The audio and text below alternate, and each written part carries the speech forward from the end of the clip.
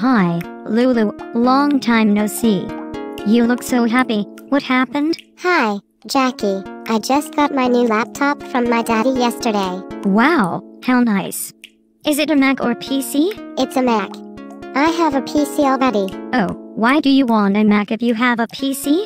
Because my PC is almost crashed and I really want a Mac because it's so popular right now. True, but Mac is so expensive. Really? My PC is more expensive than a Mac. Really? How much did you spend on your PC? Almost $1,600. Wow, that can't be true. When did you buy it and which brand? Well, that's true. I bought an IBM five years ago.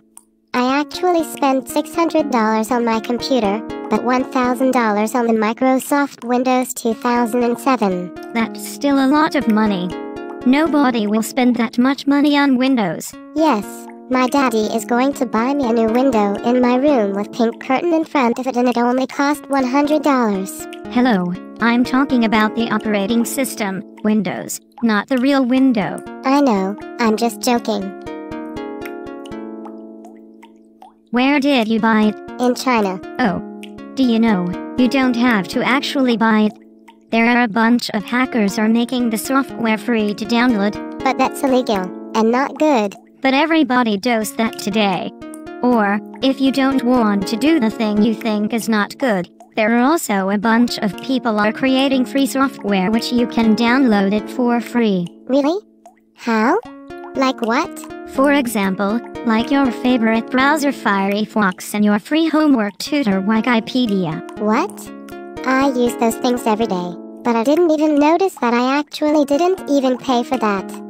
But Wikipedia or Firefox or even Facebook are not the operating system. Same concept. Do you know Richard Stallman? Do I suppose to know him?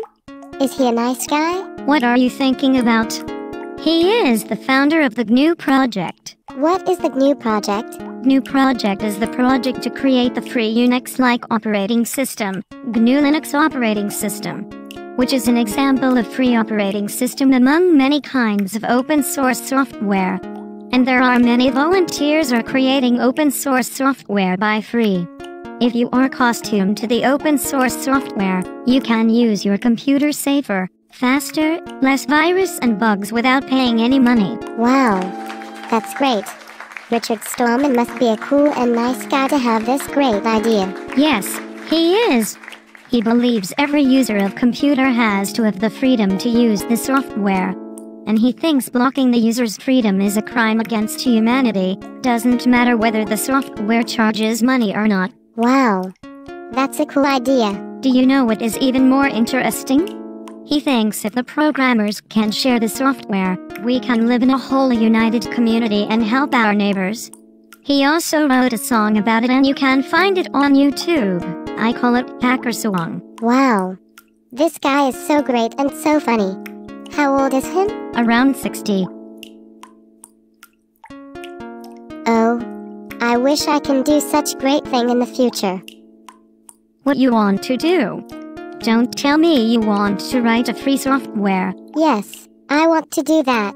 but you got a Z on your computer 000 class. I decide to study computer right now and become a programmer in order to join his team in the future. Well, you can write a program but we don't have to use it. But, I want to do that, too. But the problem is can we make any money from the free software? I don't know. But I believe it has a great future and every user of computer should start to think about it. Yes, we'll do something for the others and also get something from the others. Well, the first thing you need to do is passing your computer class.